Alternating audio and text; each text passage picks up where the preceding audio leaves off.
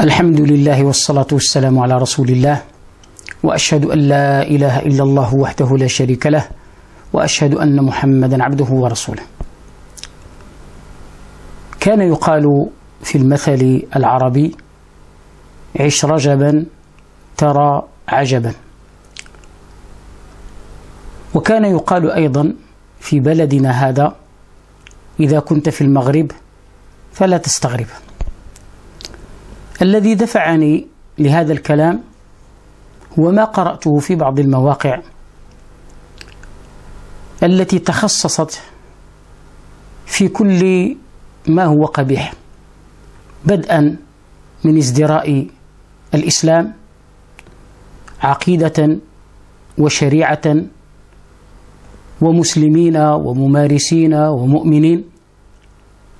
فهذه المواقع لا تترك فرصة إلا وطعنت في الإسلام والمسلمين وفي شرائعه وحرضت على الفسق والفجور وعلى الإلحاد وعلى غير ذلك مما هو معروف.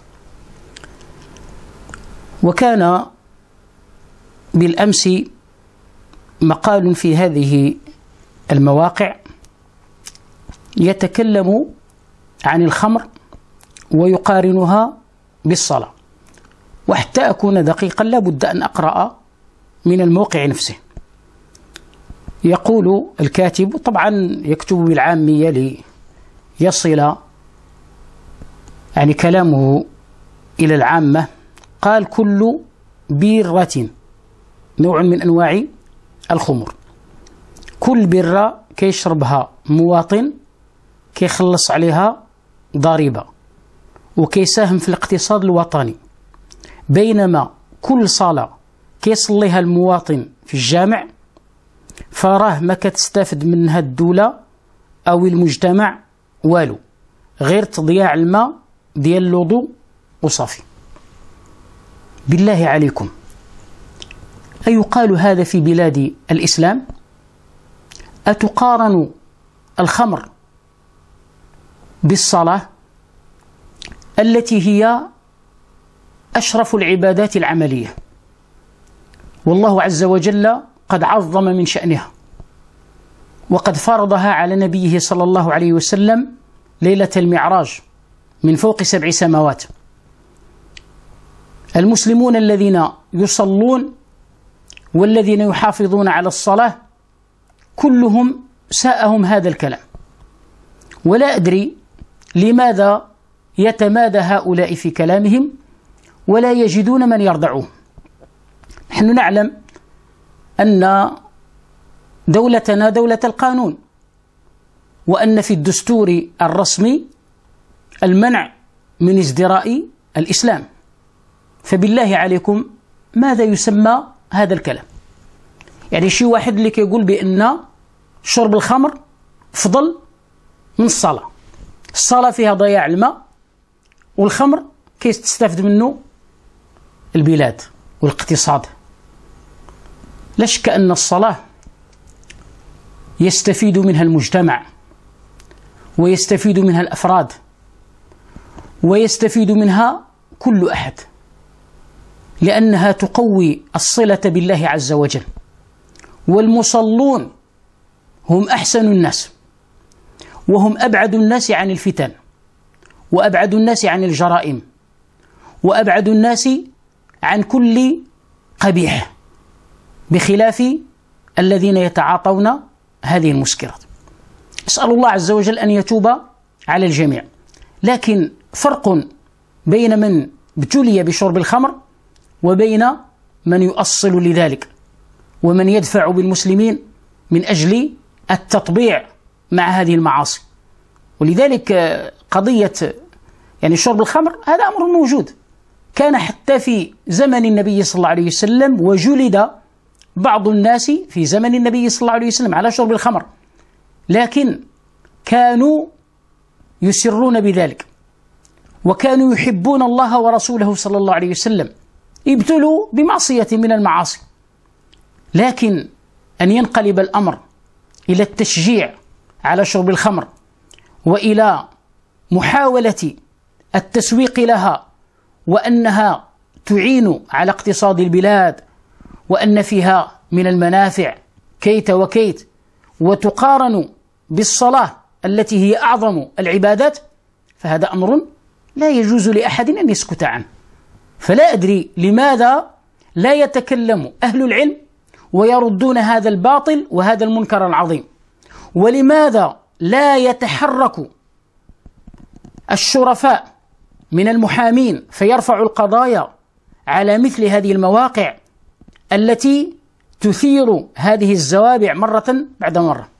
طيب الآن حينما تنشر مثل هذه المقالات ويأتي بعد يوم أو يومين فيعتذرون لأن يعني طبيعتهم أنهم جبناء وهذا إنما يفعلونه من باب جس النبض. كيشوفوا هذه الأمة واش باقي فيها شي حياة ولا ماتت بالمرة؟ هل عندها حس إيماني تنكر المنكر ولا تقبله؟ وإن كان بعض أفرادها أو كثير من أفرادها يتعاطى هذا المنكر لكنهم لا يرضونه ولا يقرونه ولا يستحلونه فيقومون بهذه الحركات. هذا يعني جس النبض فلذلك ينبغي على كل غيور على هذا الدين وعلى هذا الوطن أن ينكر هذا المنكر العظيم. على الأقل بلسانه. على الأقل بلسانه.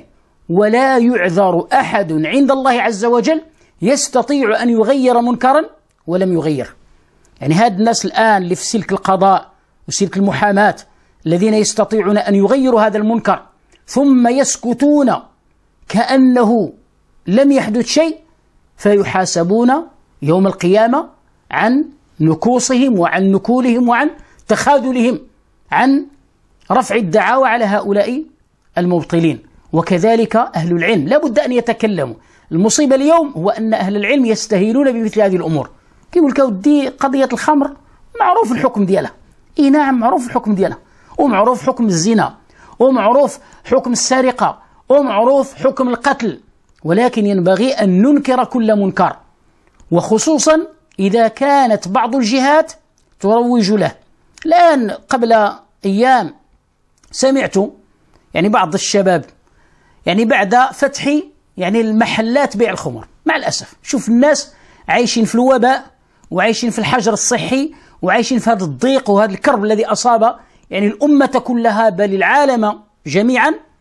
حينما فتحت هذه المحلات يعني والله سمعت بأذني ورأيت بعيني شابا يعمل في هذه المراكز ولا يظن أنه اقترف شيئا من المنكر.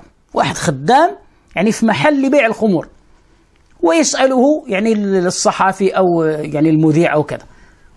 فكيجاوبوا بواحد الجواب تلقائي كيقول ليه هو إحنا الحمد لله من بعد كذا وكاين الكليان وعندنا الكليان نقيقيين زوينين يعني ما عندناش يعني n'importe qui ما عندناش يعني كيجيو دوك الناس الموسخين وكذا لا كيجيو دوك السكايرية اللي نقيين ديال الأحياء الراقية.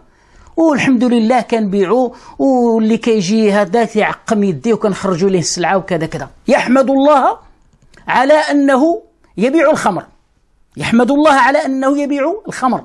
يا راه من كنوصلوا لهذه الدرجة ديال التطبيع مع المعاصي فهذا أمر خطير جدا. لا ينبغي أن يسكت عنه الدعاة ولا ينبغي أن يسكت عنه الوعاظ.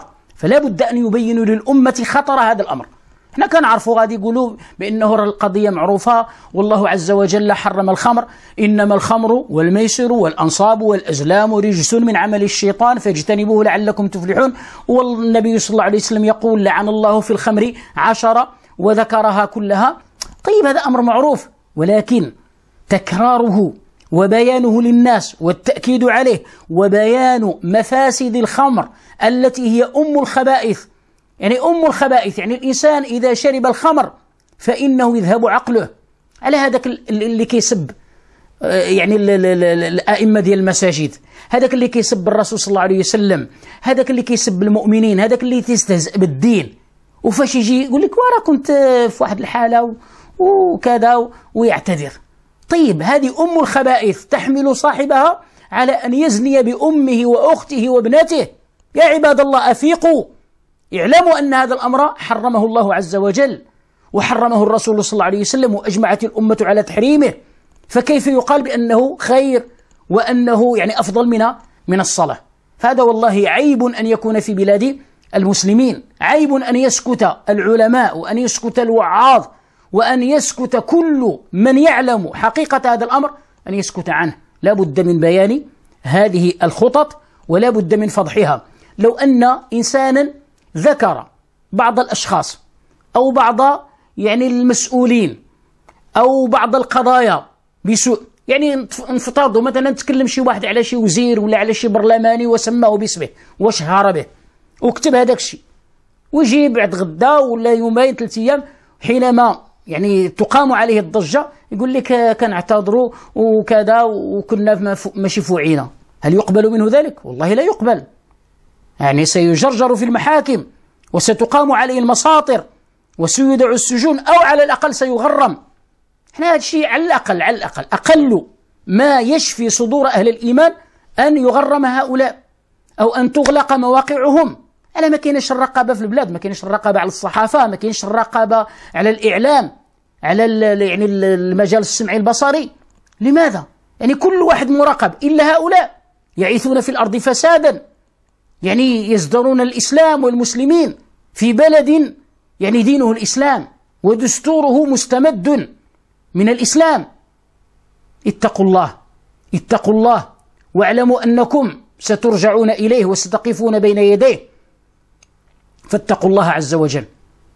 يعني اكتفي بهذا القدر وأسأل الله عز وجل أن يهدي ضال المسلمين وأن يغفر لنا ذنوبنا وأن يقينا شر أنفسنا. وإذا أراد بعباده فتنة أن يقبضنا إليه غير مفتونين. سبحانك اللهم وبحمدك أشهد أن لا إله إلا أنت أستغفرك وأتوب إليك.